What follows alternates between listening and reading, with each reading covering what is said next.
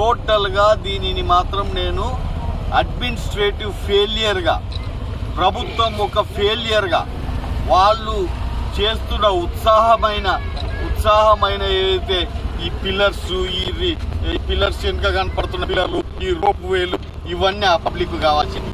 ఇవన్నీ ఆ పబ్లిక్ కావాల్సింది. ఈడ పాలమూరు పబ్లిక్. మొట్టమొదలు తాగనీకి నీళ్ళు లేవు. తాగనీకి నీళ్ళు లేవు. నీ వర్షాలకు వస్తున్న నీళ్ళను డైవర్ట్లు చేసుకునే పరిస్థితిలో నీవు లేవు. ఇళ్ళకు నీళ్ళు వచ్చి బాధలు పడి వాళ్ళ గ్రోసరీస్ కానీ వాళ్ళ టీలు కానీ వాళ్ళ ఫ్రిడ్జ్లు కానీ వాళ్ళ మంచాలు కానీ అవన్నీ కూడా ఉడకపోతూ అంతేకాకుండా ఈ మురికి నీళ్ళకు వాళ్ళకందరికీ రోగాలు వస్తుంటే అవన్నిటిని చూసుకొని దాన్ని ప్రాపర్గా అడ్మినిస్ట్రేషన్ చేసి దాన్ని ప్రాపర్గా డిజైన్ చేసి చేసే బదులు అప్పులు తీసుకొచ్చి పాలమూరు జిల్లాలో ఇవాళ టోటల్గా అప్పుల రేపు పొద్దున డిజాల్వ్ అయిన తర్వాత తెలుస్తుంది.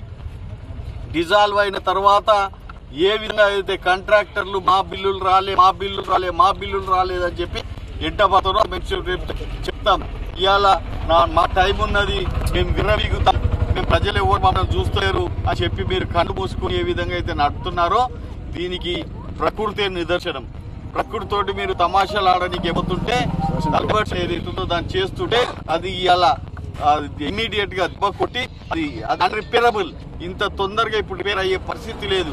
ఎంతో మంది చూడండి ఇంకా ఇంకా అక్టోబర్ ఇరవై తారీఖు వరకు వర్షాలు ఇదే విధంగా ఉండని చెప్పి సూచనలన్నీ కూడా చ- వస్తున్నాయి.